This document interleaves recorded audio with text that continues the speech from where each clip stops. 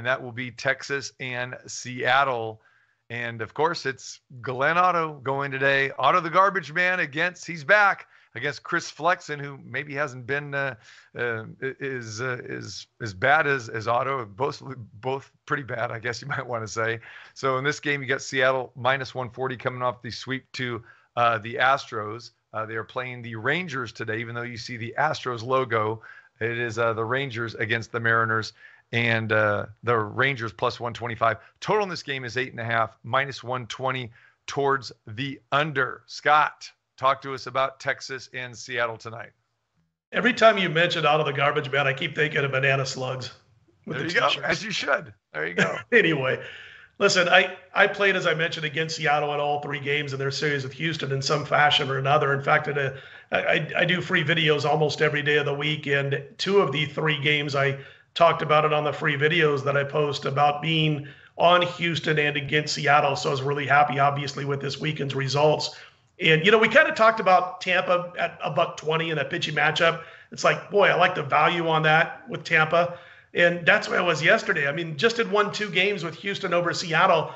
I get Framber Valdez at what was it, minus a dollar fifteen or whatever it was yesterday. I, I got to take a shot with that, especially with that baseball team.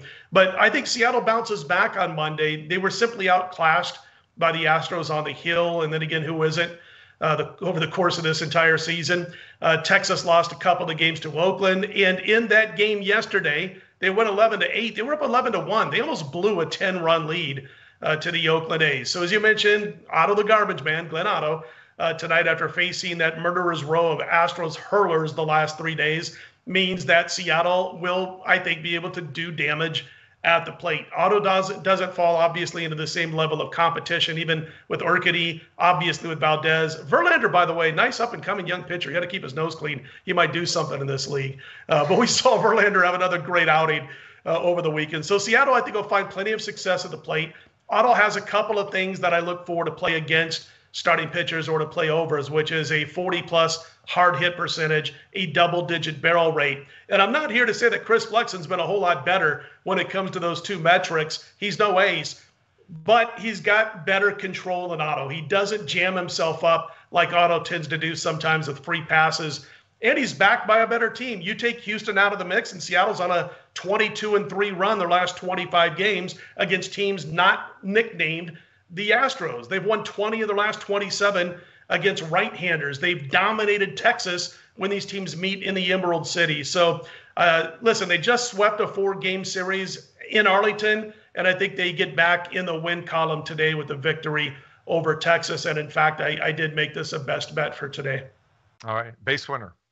Yeah, I think it's priced right where it needs to be at minus 140. I do think Seattle has a significant edge in the bullpen.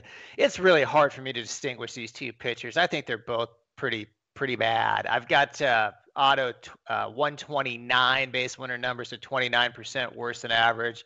But Flexen has not been flexing his muscles according to my base winner numbers. He's 24% worse than average. If you look at both guys' base winner ERA at basewinner.com, Flexen's at 5.26, Otto's at 5.53. So I don't really see that big of a difference in the starting pitchers. I have Seattle uh, offense rated better than Texas, but they're close. And one thing that's interesting is Otto's stuff plus is 42 percentile, which isn't great. If you look at Flexen the Stuff Plus, it's in the 15th percentile, which is terrible.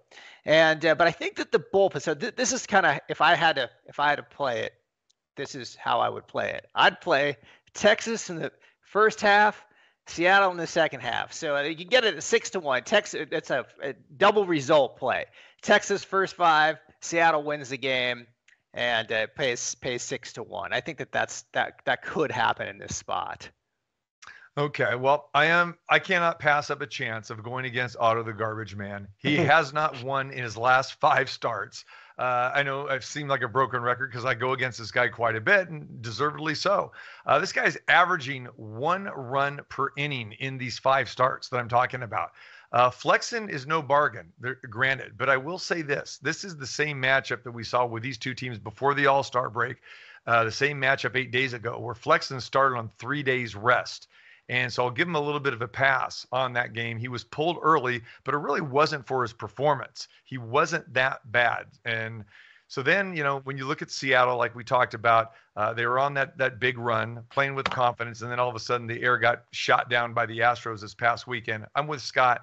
I think that they will bounce back against a friendlier pitcher and a friendlier opponent.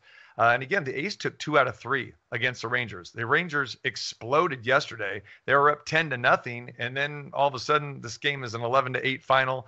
And again, you know, the, the bullpen doesn't impress me at all with Texas. None of the pitching uh, impresses me. I am concerned a little bit about Julio Rodriguez. Rodriguez, since the home run derby, came back. He was a scratch uh, about an hour before that start on Friday. Did not play at all over the weekend looks like he may not play again tonight. So check your lineup when you're looking for this because he is a big piece for the Seattle Mariners. Obviously, contributes to a lot of their success, but it is a is a bone bruise, is what they're saying on on his hand. So it's not broken or anything of that nature. You know, we'll see if Scott Servais puts him, uh, you know, uh, out there tonight, or he's going to rest him another for a day or two.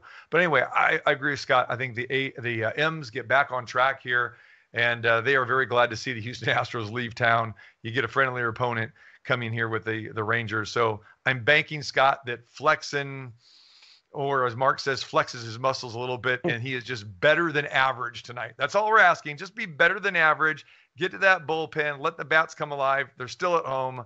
And, uh, and knock off the Rangers. So that guy's frustrating. I mean, Flexen's not. You know, we all talked about it. You know, we're, we're sitting here ripping the crap out of out of Otto, and we also all said that, you know, Flexen's not a whole lot better yeah. uh, if you want to bring it. But he's on his own bump with a better baseball team, better bullpen as far as I'm concerned. And and again, I I like a team that fights hard in a loss. And if you saw that again yesterday, Seattle started clawing yeah. their way back in it. There was no I'm giving up. They're still obviously in the wild card race. And uh, I would just rather go against a team – that almost completely collapsed on Sunday after losing two straight to Oakland to start that series. So there you have it. There you go. Scott and I will be on the Seattle Mariners tonight. Uh, decent prices as well too. So we'll take the Mariners at minus 140.